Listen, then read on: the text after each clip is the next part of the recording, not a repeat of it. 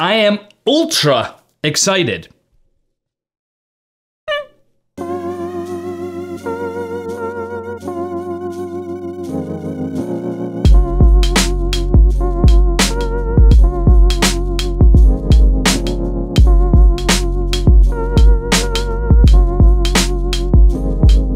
What's up YouTube?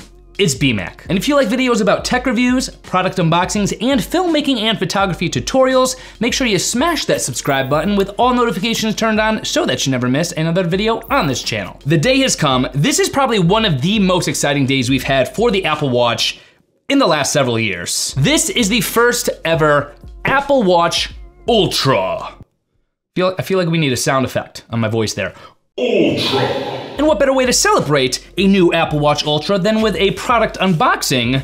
So that's what we shall do right now. Quick look at the box. This is a very nice box. I know that sounds ridiculous. We're talking about a box here, but this is different than your usual Apple Watch box. It's a little bit more papery, if that makes sense. Complete, of course, with the engraved Apple Watch logo right there. Of course, you have more information on the back, but you don't care about what's on the box, you care about what's in the box. So we're gonna unbox this bad boy right about now.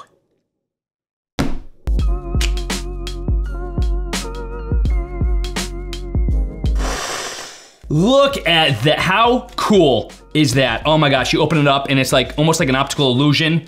This little packet of information matches this awesome mountain-esque artwork on the back there. This is gonna give you a little walkthrough of the different colors of bands and the different styles of bands that are specifically for the Apple Watch Ultra. We'll quickly skip through this. Of course, a lot of this you probably already know, how to swap out a band or how to actually start charging your Apple Watch Ultra, but this is giving a much more in-depth look at what the watch is all about, including the action button, that international orange action button, as Apple is calling it. And you can see here with a lot of different options, a lot of customizability, it makes sense that Apple is giving you this entire packet of information. what is this right here? This is a cool little flap, okay. No Apple sticker, but I guess that's usually not a thing with Apple accessories, even though I consider the Apple Watch much more than just an accessory these days. But you will see, this is your safety and handling regulatory information right there, tucked away. But that is the packet of information. That is the beautiful artwork box. I honestly feel like I kind of want to frame this, as weird as that sounds. I actually might. But we shall move that out of the way, take a closer look at the stars of the show. There are actually two stars of the show here because this band is completely new. And take a look at the artwork on this band box. That's it, that's kind of trippy. It's probably hard to tell on camera, but it looks almost like that's the band itself. It's it's hard to explain, but it's like popping out at you. We have a little arrow right here to help us undo the box. Done. We shall turn this over. Some more information about how to attach the band and how to adjust it, but we're gonna take this out because, There she is. But before we do that, here's your instructions, little sheet for instructions, safety information, all that, little sheet that comes with it. Right there. Then here's your band. We shall carefully take this out. I like the fabric. I like the feel of it. Definitely like the look of it. I like this band. This might end up being my new favorite band. As much as I love to talk about the band, we really wanna see the puppy itself, so uh, time to do that.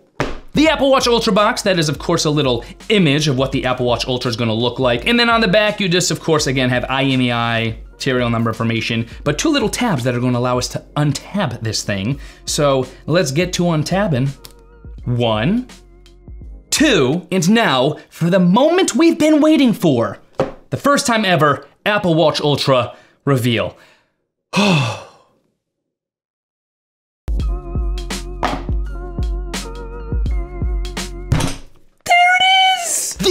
Apple Watch Ultra. Oh my goodness, we're gonna take a closer look at that in just a second. Little subtlety here that I'm immediately noticing that I like in the unboxing experience. We usually see this designed by Apple in California on the little packet of information that we get in all of our Apple products. But you'll also see we have coordinates here. Very much in the style of what the Apple Watch Ultra is promising to be. But very nice touch from Apple right there.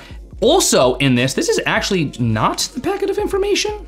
This is the Apple Watch Ultra charging cord. Closer look at that, you have this beautiful braided cable. This is something we're seeing a lot more with Apple products. We have this braided cable rather than just your typical kind of rubberized cable that you have here. I, I love this braided look and feel. Every, every cord should be like this in my opinion. And that is your three foot Apple Watch charger, your USB-C to magnetic little connection charger here. I love the braided cable. Uh, that makes it worth it already, almost. But now, a closer look at the baby itself. I want to see the baby. Woo! That's heavy! Heavier than I was expecting it to be. We shall uncellophane it.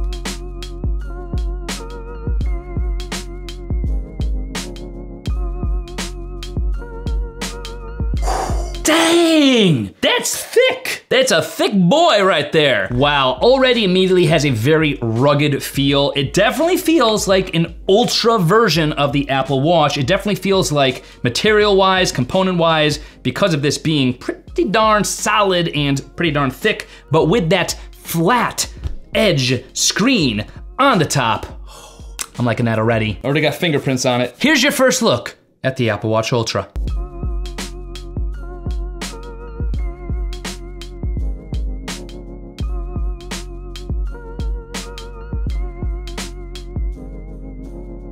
Apple, you know how to do it. You know how to do it. I'm gonna quickly slap this baby onto this band, figure out how to actually use this band, and um, take it from there. Oh!